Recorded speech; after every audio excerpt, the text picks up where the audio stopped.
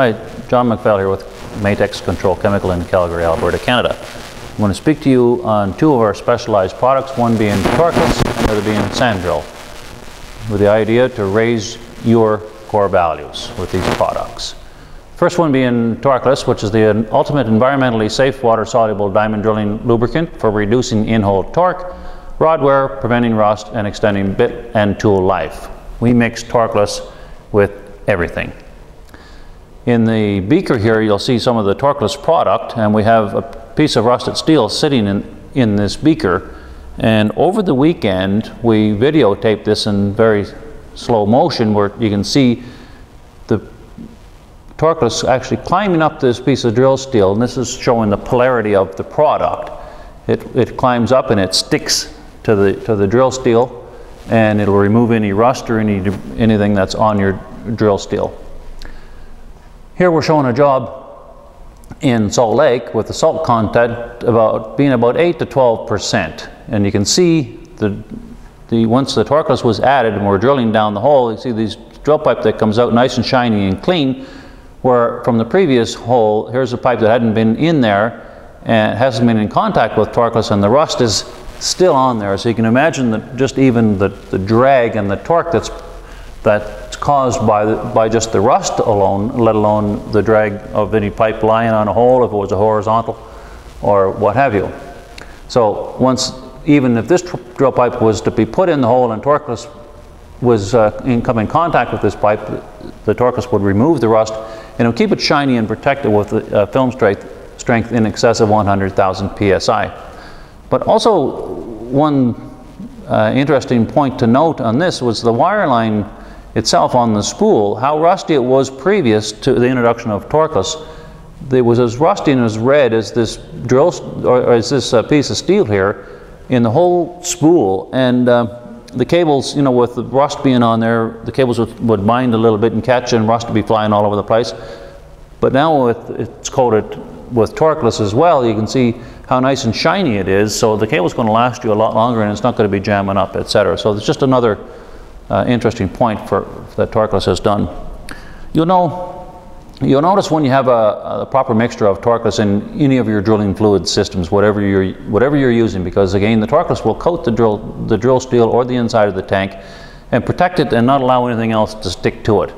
Where you can see here, there's no torqueless being used in this situation here, and you can see how the, the polymers and the drilling fluids is all sticking to the tank, which creates a, a, a real mess. It's time consuming to try and clean it and wash it off, but also must be known, you know, the, uh, the waste of the product itself.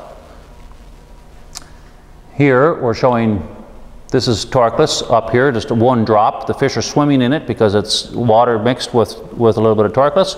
But just to show how environmentally safe it is, this was a, a couple of years ago. The fish really uh, enjoy this product. And now, a couple of years later, here's some torqueless that was just dropped on the top, not mixed yet, and the fish are still enjoying it. And you can see the size of them. The fish are the fish are good and healthy, and uh, as we say, we add torqueless to everything. Not necessarily fish tanks all the time. This is just for demonstration purposes.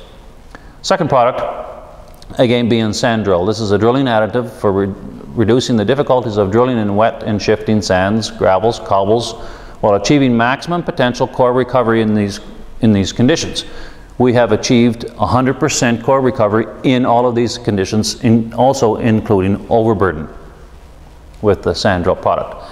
The sand drill is a dry blended polymer and any dries, any dry blended polymer that, you, that you're using should always be introduced to a lubricant first. We, we, we mix everything again with our torqueless product. This being torqueless, we will use our torqueless 2 to 1 ratio to any dry product that we're using. This is the sand drill that's being introduced into the torqueless, just to show you how quickly that it mixes up.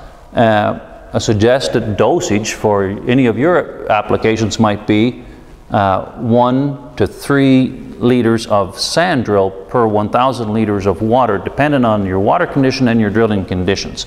Then just double the amount of torqueless. So it's 2 to 1 torqueless to sand drill.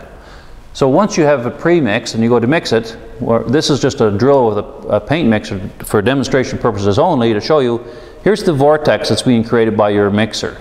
you can go ahead and you can introduce this uh, pre-mixed mixture anywhere into the vortex as, as, quickly as you like. And you will see the viscosity in the chains that, that's being built very, very quickly. This is just within a couple of minutes. And again, this is just for demonstration purposes only. So when, when you say you must pre-mix the product, when you look at this, this video here, up top you can see we're just introducing Sandrill alone with no, not being pre-mixed. And down here we've got it pre-mixed. So Unfortunately, when you're drilling, when you're introducing it not being pre-mixed, you can see the clumps that's being created from the polymer. And when each individual grain of polymer tries to unravel, it basically is creating a dumpling up here and it's not being mixed up. And it's even worse if you have a little bit of polymer left over in, in your tank from your previous mix, which will always happen except for the first tank. Um, we're able to see this from a side view because we have we do this in our classroom for demonstration purposes uh, with glass tanks so we can see in the sides. Then you can see when it's with the premix how it's being dropped right in there and you can dump, dump it in there as quickly as you want to and it will disperse quite nicely. So because each individual grain of polymer is actually encapsulated in the lubricant, the torqueless product itself, which allows it to move around the tank and open up nice and to a nice long string and nice long strands. So after about, uh, let's say, six minutes, maybe eight minutes, uh, this is what your mixture will look like. So when we add dye in here, again, I'm speaking of the strings and the strengths of the, this product that, that uh, comes out when you start to mix it. You can see how it's nicely on, all unraveled and nice and smooth mixture. However, the dye gives a very good demonstration as to the strength of these chains and the chains that are being developed in there.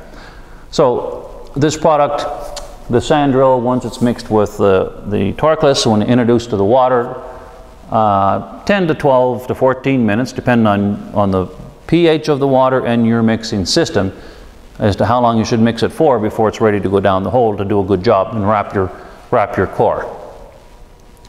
So I like to, I always like to go to this cotton candy because as uh, we were all kids one day and we probably all had a, an opportunity to have some of this cotton candy. What I want, to, want you to understand here is these strings that I speak of are something like these webs that's created with this cotton candy. We all know how sticky this is and how it wraps up to everything as it's wrapping onto, onto this stick that he's, that he's wrapping it on here. If you can picture this cotton candy wrapping up your core, if we could if we could introduce a, a good lubricant to this cotton candy, where we would still get the wrapping effect and we would and, and we'd get the lubricity on top of it so it wouldn't stick to you, that's what we're talking about when we talk about uh, Sandrill and torqueless. And that's, that's what we're looking for. This is a fantastic animation. As you can see, we're spinning out the webs. So there's your cotton candy effect. And as we are going into, as we're introducing the product, the blue is just to strictly demonstrate how the sand drill will penetrate into the formation dependent on the porosity of the formation. So if these were boulders and sands, etc., if you're drilling this down with water, the sands would come out, the boulders would fall in the hole. However, with the introduction of sand drill, we're lucky enough to be able to stabilize this whole formation. So it will penetrate the formation a little bit to kind of tie it up, cement it together, if you will, even to the point where it maintains this, these stones and keeps them in, in place to where when you're coming down with that bit, that bit will actually shear that stone, cut that stone right off, and when you pull out of the hole, you have a nice, nice solid hole there, but just like looking in the inside of a gun barrel. So the blue's demonstrating the torqueless, or the, uh, the sand drill, and the, the green demonstrates the torqueless. So the torqueless is coming in there, and it's coating all of your drill steel. Uh, point to note, is that it, it's also coating your drill bit and not allowing anything to stick to your drill bit.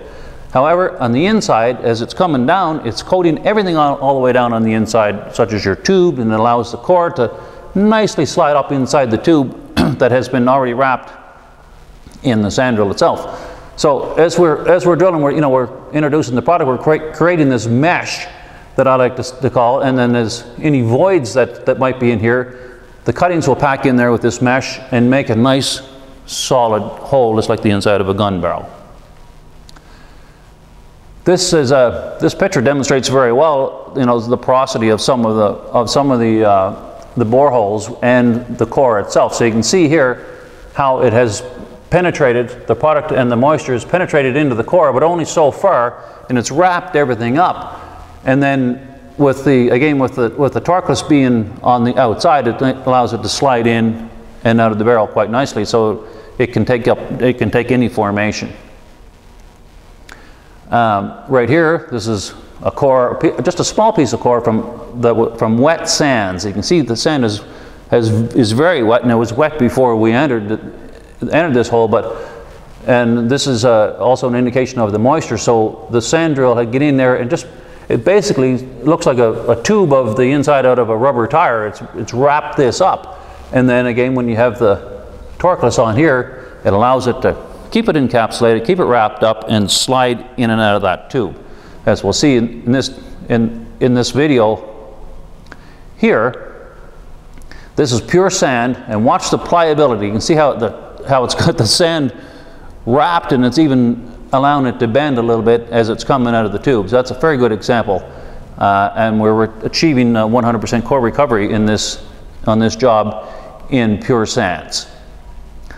This job here is a job in Turkey, and I love this one here because it really shows, you can see the torqueless on the outside of the core, and the core is breaking apart there, but, but the, how fragile this core is and this, this formation is, it's, it's a fantastic demonstration uh, as to what this product will do. I believe they were getting about 15 to 20 percent uh, core recovery on this, on this project before we come along with, with torqueless. Uh, this is a couple of shots from a, a, job we had did up in northern British Columbia in Canada. Uh, you can see where the markers are. If you can see that quite clearly, there's a marker here, there's a marker here, there's one here, there's one here. Uh, here, these are drilling with a 10 foot uh, core tube, which we would like to see this being full. It should look more like this over here. You can see the marker here, the marker here, the next one's over here, and over here. So we're showing we're getting full core recovery here. This is obviously the before and the after, the very next hole after. But you can see any of the filler that was in the hole with the sands and gravels and cobbles, etc., had been washed away because we hadn't had a product in there with the ability to, to wrap it up, to penetrate it in there in the borehole wall and stabilize it and hold it there. Where we definitely did on the very next hole, we end up with 100% core recovery and a, a very happy client at, at, the end of it. Now I'm going to touch on bentonite here a little bit because um, uh, bentonite is one of the first drilling fluids that, that uh, was ever out there years and years and years ago. It's a great product for giving us a, a very good viscosity. However, there's no strength in bentonite. There, it doesn't give us the chains and the ability to wrap up the core like I like to speak to. And it takes uh, quite a while to mix. Again, this is in our, in our school in Calgary where we're showing uh, how long it takes to mix. We get the opportunity to get a, a good side uh, visual on how the bentonite mixes. So probably 30 to 60 minutes to, to uh, mix up a good uh, bentonite. No matter what mixer you have, you can turn this up as, as much as you want, but it's going to, it needs to absorb the water and it takes a long time to mix it. Uh, bentonite definitely has its place, uh, etc. But we, we work with polymers and, and lubricants here. Uh, this demonstration will show us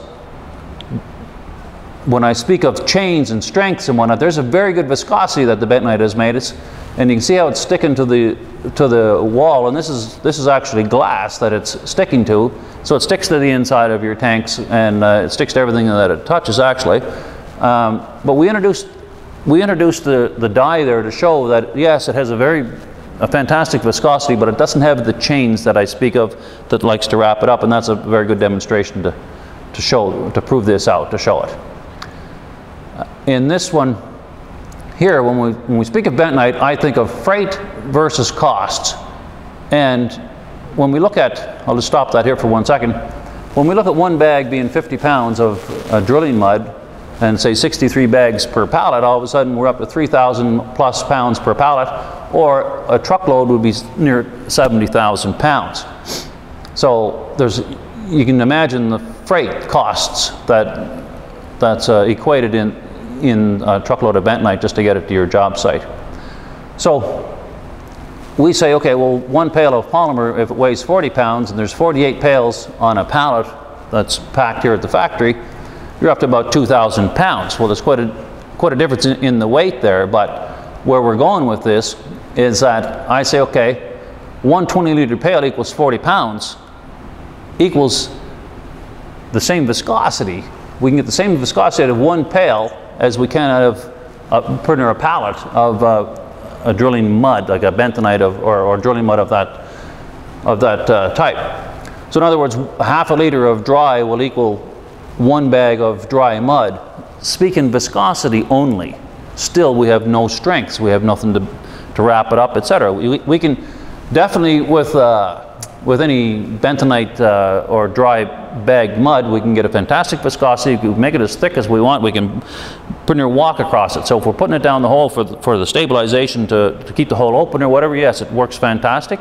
Uh, however, for core drilling, it's not going to get you the core like we can when we're wrapping it with a with a polymer. So that's that's where we're going here.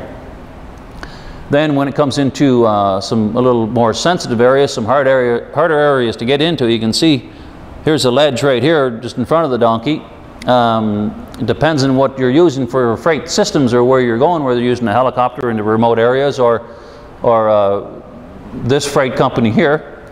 Uh, right here, basically, this donkey's carrying a pallet of bentonite on its back, viscosity and weight-wise, speaking only and then we get to be able to wrap up your car. Versus how many times, how many trips would that donkey have to make up and down that mountain to get you enough uh, of the bentonite product up there to, to work with. So um, that's a little bit about our sand drill and our torqueless product. If you can go to our website at any time at www.matex.ccc or dash ccc.com and get a little more information on our other products. We have 955, uh, 2000 and various other products on there with videos and animations, etc. Thank you for watching.